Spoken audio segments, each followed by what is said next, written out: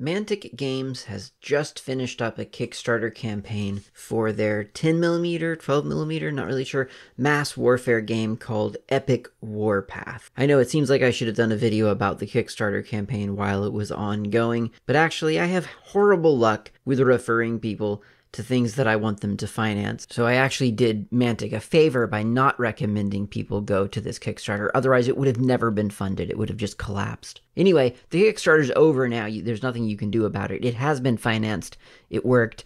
I am a backer, and I'm a backer for several reasons. One one simple one is that I can use the assets from this game, both for the intended Epic Warpath game, but also as an auxiliary troop for some mech games that I play, and I needed some small little troops to accompany, some ground troops to accompany the battle mechs. I could obviously do the same thing with Game Workshop's Legions Imperialis, but I like a bit of variety in my life, and anyway, this game, Epic Warpath, is co designed by Alessio Cavatore of Middle Earth Strategy Battle Game, which is a very strong game system, one of my favorites. So I'm eager to see what Alessio and Matt from Mantic come up with. I'm confident in the game, but I don't know near as much about Mantic's gaming universe as I do about Warhammer uh, 30k or even 40k. But fortunately, Mantic provides a $0 download of a book called the Warpath Sourcebook, and I have read it eagerly from cover to cover, and it's really good. I'm here to recommend that you read that. The Warpath Sourcebook contains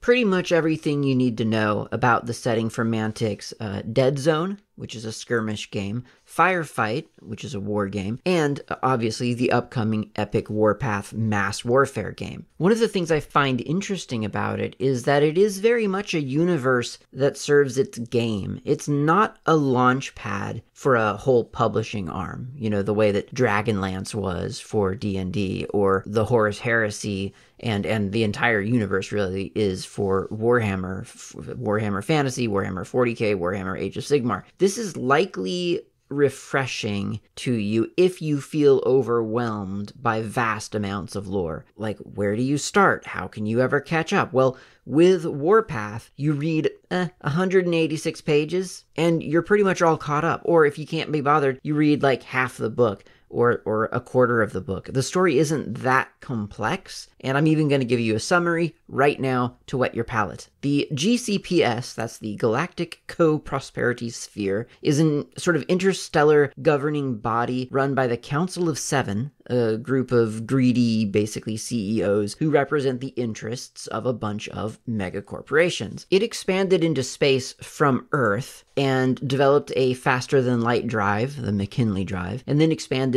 some more. That's the spheres in the name, Galactic Co Prosperity Sphere. Every time they expand, they sort of call everything that they've discovered a sphere. So they're the, the, the first foray into intergalactic space was the the first sphere. And then when they pushed further, it was the second sphere, and then further the third sphere, and so on. The GCPS maintains a military force, which is the very very cool GCPS faction in the game. As an excuse to seize control of the GCPS, the Council of Seven engineered an orc rebellion. It got out of hand, and so the Council of Seven developed the Enforcers, which are humans modified with nanite technology to become super soldiers. This is the Enforcers faction in the game, and the orcs themselves are the Marauder faction. Space dwarves exist, and they go around mining asteroids and planets. This is the Forge Fathers faction. Space elves also exist, and they're an ancient race guided by the collected knowledge of their ancestors. They're largely opposed to war, mostly, but they engage because they must. This is the Asterian faction in the game. Space rats are the Veer-myn faction. Nobody knows where they came from or why they exist, but they ravage planets of resources or leech off corporate installations and slaughter humans, Forge Fathers, and Asterians alike. The greatest threat to everyone, though, is the plague. It turns living beings into semi sentient zombies, sort of Dawn of the Dead style, driven to kill. This is the Plague faction. And that's it. Well, I mean, mostly it's not a complete picture of the entire setting. Like in Dead Zone, you get to know specific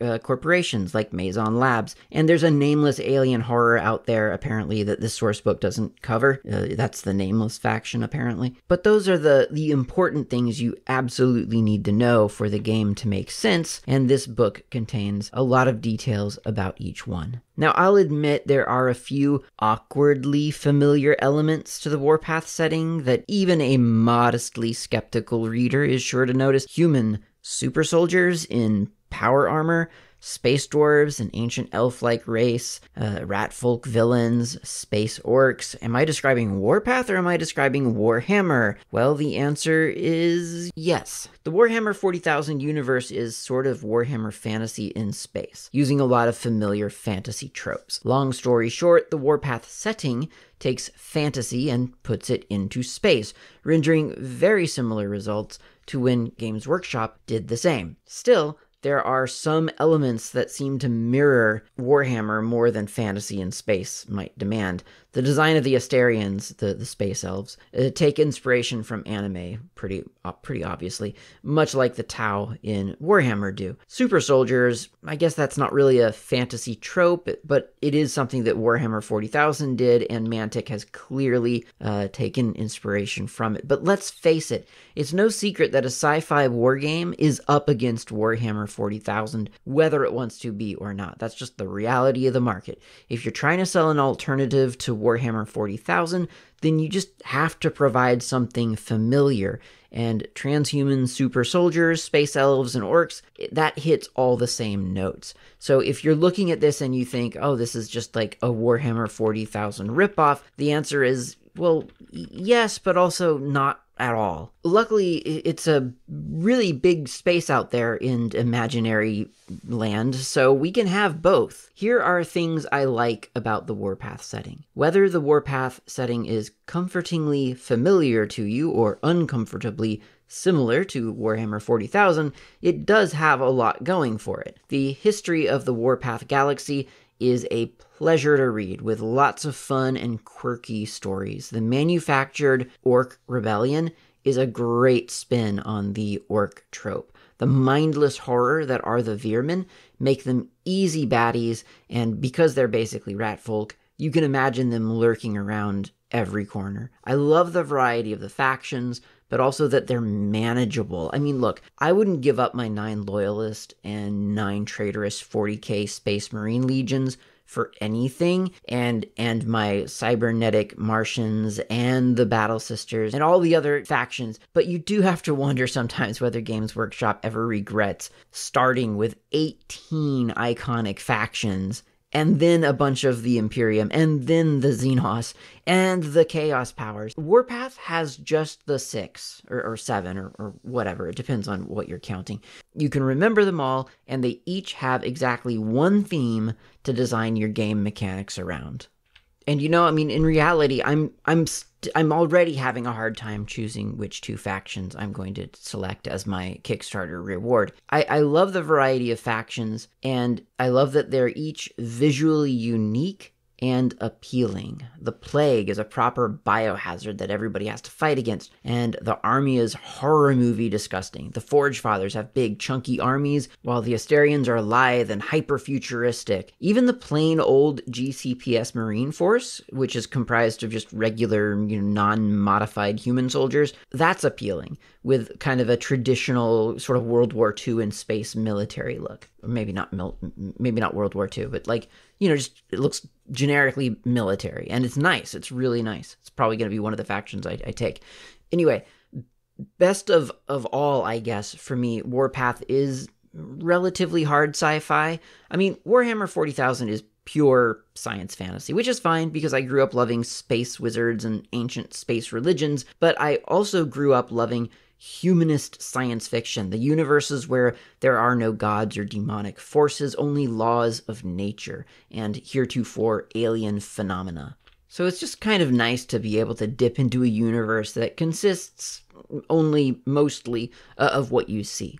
There are psychics in Warpath uh, in some species, at least in Firefight. So the setting does allow for the existence of high, very advanced minds with abilities beyond human understanding. It's not so common, however, that it gets any mention in the source book. I had to go to the firefight rules to, to learn about the psychics at all, and it doesn't define the setting the way psykers do in Warhammer or the Jedi do in Star Wars. Whether you're interested in playing Epic Warpath or not, the Warpath sourcebook is a great world building read there are some real gems in the little stories behind each faction, and best of all, there's a lot of discussion about very specific weapons and vehicles. I mean, this is a true RPG style sourcebook with lore for flavor plus lore that actually influences mechanics. It's a great example of a settings overview, and if you're at all curious about a new or not so new, but a, a, maybe a sci-fi setting that you you might not be familiar with. Check this out. I mean, it's zero dollars. It's a it's a really good read. I'll put the link down in the description below. Thanks for watching.